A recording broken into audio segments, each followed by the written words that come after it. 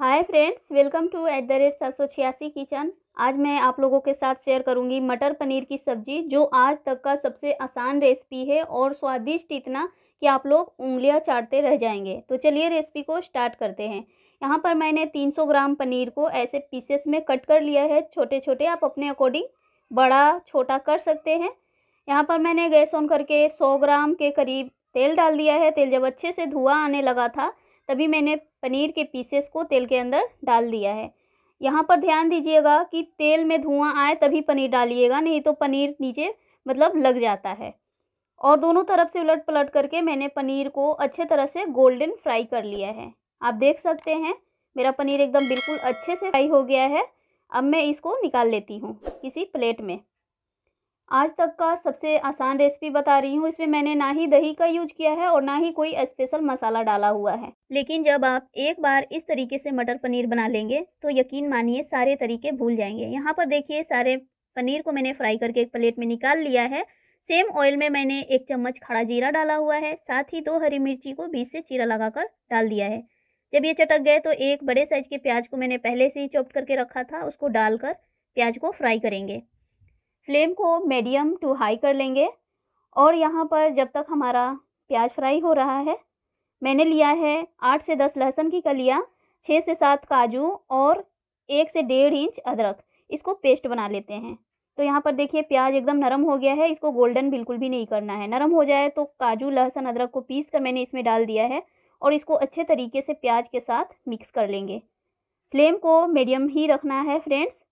तो यहाँ पर देखिए अच्छे तरीके से जब ये काजू वाला पेस्ट भुना जाए तो उसमें मैंने यहाँ पर एक बड़े साइज़ के टमाटर को मिक्सी जार में पीस कर पेस्ट बना लिया है। उसको डाल देंगे और इसको अच्छी तरीके से मिक्स कर लेंगे। अब डालेंगे ड्राई मसाला एक चम्मच भर के हल्दी पाउडर और एक चम्मच धनिया पाउडर एक चम्मच जाएगा काली मिर्च पाउडर और लाल मिर्च पाउडर मैंने दो चम्मच डाला हुआ है, आप अपने अकॉर्डिंग कम ज़्यादा कर सकते हैं। लास्ट में हम डालेंगे नमक। स्वाद के अनुसार। और इन सभी मसालों को अच्छे तरीके से चलाते हुए मीडियम टू हाई फ्लेम पर भूनेंगे। ये मटर पनीर की सब्ज़ी जितना बनाने में आसान है, खाने में उतना ही टेस्टी होता है। इसे बैचलर भी बहुत ही आसानी से बना सकते हैं। तो यहाँ पर देखिए, मसाले को मैंने लगभग फिफ्टी परसेंट भून लिया है। अब मैं इसमें ऐड करूँगी हरे मटर।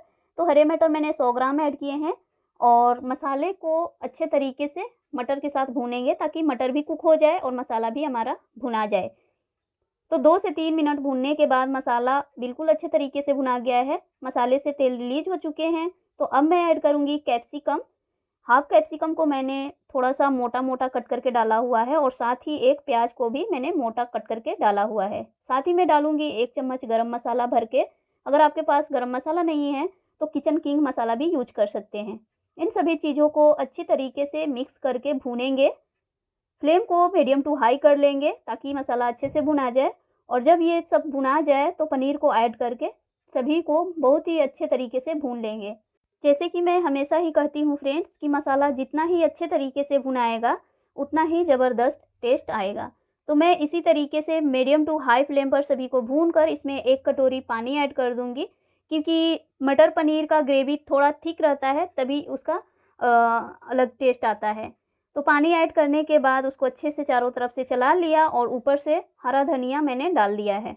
साथ ही इसमें दो हरी मिर्ची को मैंने बारीक कट करके ऊपर से ऐड किया है। आप लोग भी ऐड कीजिएगा इससे ना बहुत ही ज़्यादा अच्छा टेस्ट आता है। उसके बाद ढक के दो से तीन minute medium to low flame पर कुक करेंगे।